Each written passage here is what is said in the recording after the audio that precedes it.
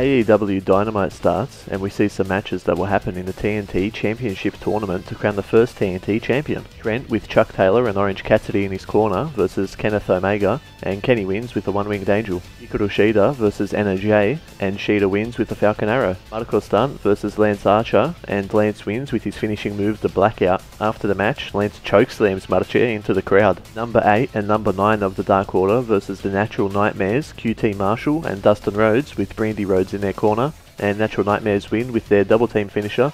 After the match, the Exalted One Brodie Lee comes out and powerbombs one of his minions. We see Chris Jericho enjoying a little bit of the bubbly in his spa at home, and he's trash talking the Elite. Then Matt Hardy's drone Vanguard 1 shows up, and Jericho says he's for what happened between them, and hooks an inner circle shirt on Vanguard but Vanguard flies away and Jericho releases the hounds and his dogs come running out. Sammy Guevara and Shawn Spears versus Darby Allin and Cody Rhodes and Spears wins with a roll up on Darby. After the match, Cody goes to help Darby up and Darby punches Cody and walks off. We'll see you next week for the next Dynamite highlight.